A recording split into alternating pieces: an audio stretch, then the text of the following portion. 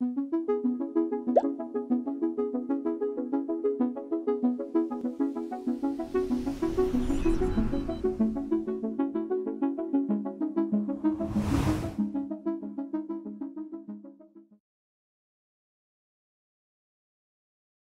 amigas y amigos del canal para estudiar con Ricardo. Bueno, vamos a eh, hacer el análisis completo, completo, completo de una función cuadrática que en este caso a la vez escrita en su forma factorizada.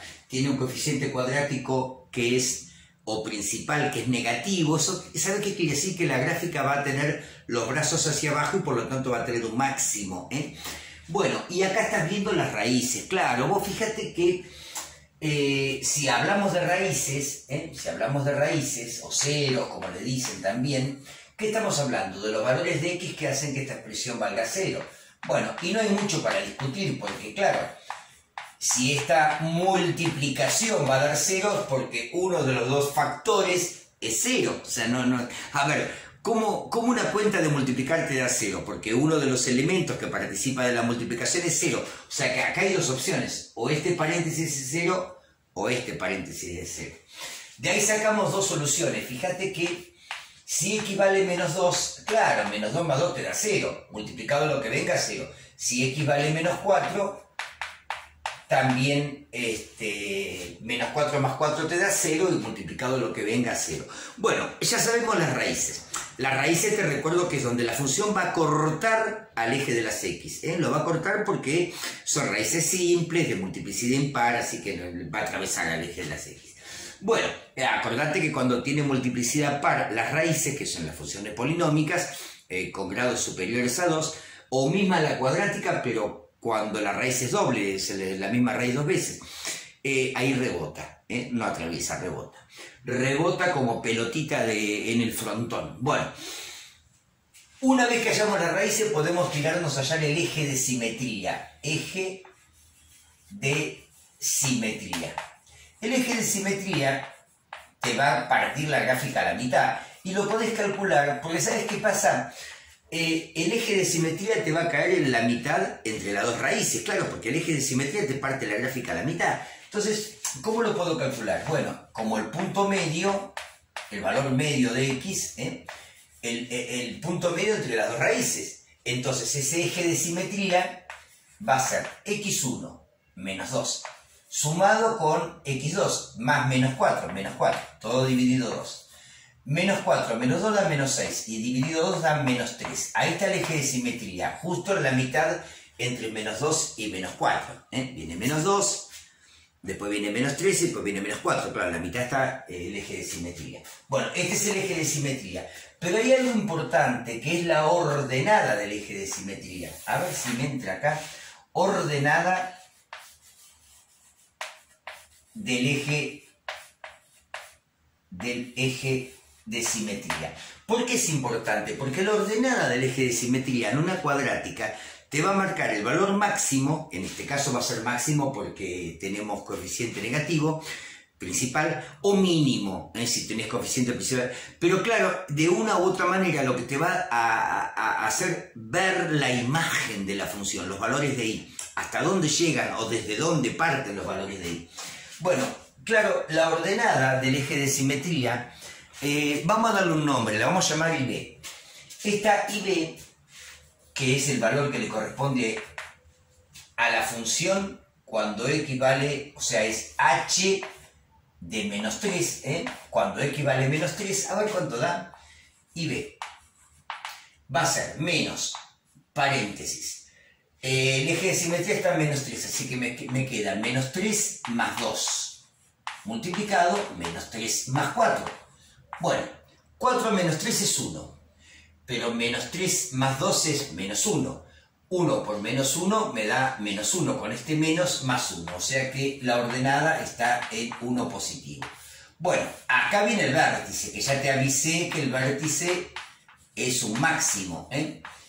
El máximo está en el eje de las x en menos 3 y en el eje de las y en 1. Bueno, vamos a la ordenada al origen. La ordenada al origen es donde la función corta al eje vertical de la y. Y siempre que la función corta al eje vertical de la y, eh, estamos hablando de que x vale 0, o sea, h de 0 es la ordenada al origen, o sea que menos 0 más 2, que da 2, por 0 más 4, que da 4, 4 por 2, 8, con este menos, menos 8. La ordenada al origen está en menos 8. Con esto tenés toda la materia prima necesaria para hacer la gráfica. A ver, eh, déjame, yo por supuesto, por supuesto que no uso escala, pero vos tratás de usar una escala para que, bueno, esto te dé lo más, lo más este, preciso posible. Acá voy a anotar menos 1, menos 2, menos 3. Yo sé que al eje X lo cortamos en... Ah, y menos 4, por supuesto. Al eje X lo cortamos en menos 2 y menos 4. o sea que la gráfica pasa por menos 2 y por menos 4. ¿Qué hay en el medio? El eje de simetría. Pero el eje de simetría contiene al vértice. O sea, su ordenada es 1. ¿eh? Subite acá hasta 1 y ahí tenés la ordenada. ¿eh? Y bueno, falta la ordenada al origen, que está en menos 8.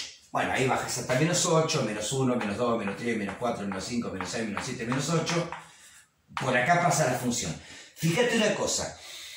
Como este es el eje de simetría, si de acá hay 3 unidades, ¿no? Hasta llegar acá, marcate 3 unidades para el otro lado, la misma distancia, y te da, ¿sabes qué? El punto simétrico de la ordenada al origen. Y ahí tenés, ya no tenés excusas para, para hacer una preciosa gráfica donde podemos ver que el dominio son todos los reales como corresponde a una función cuadrática, viste acá cualquier número sumable por 2, cualquier número sumable por 4, y luego se los puedo multiplicar, ponerle un menos adelante, no hay ningún problema.